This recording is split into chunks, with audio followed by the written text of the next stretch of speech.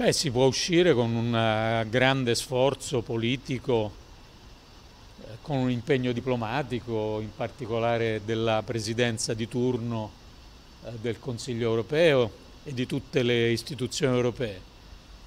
E poi si può uscire, credo, anche con senso di responsabilità da parte di tutti. Del resto i paesi che hanno messo un veto all'approvazione del bilancio e del fondo di recovery sono paesi come la Polonia e l'Ungheria che sono tra i principali beneficiari di entrambi questi strumenti, sia del bilancio comunitario di cui sono beneficiari netti e sia di Next Generation EU di cui sono tra i 5-6 maggiori beneficiari per dirlo al pubblico italiano, hanno in percentuale un contributo da questo fondo maggiore di quello che avrà l'Italia, non in termini assoluti naturalmente, ma in termini percentuali.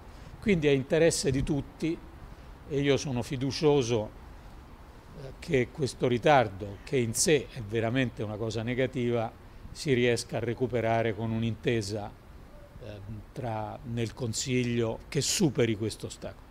Noi per avere volume di fuoco in questa ripresa abbiamo bisogno di andare sui mercati e eh, raccogliere risorse eh, di un debito comune. Per farlo abbiamo bisogno di quelle innovazioni che oggi sono state sottoposte a un veto da parte di due paesi.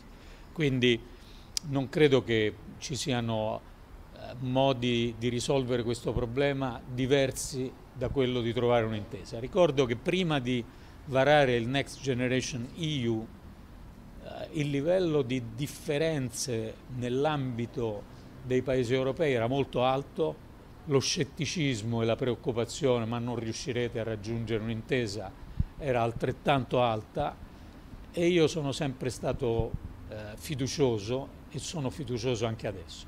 Mi preoccupa il ritardo ma non mi preoccupa il risultato finale perché penso che si troverà questo accordo.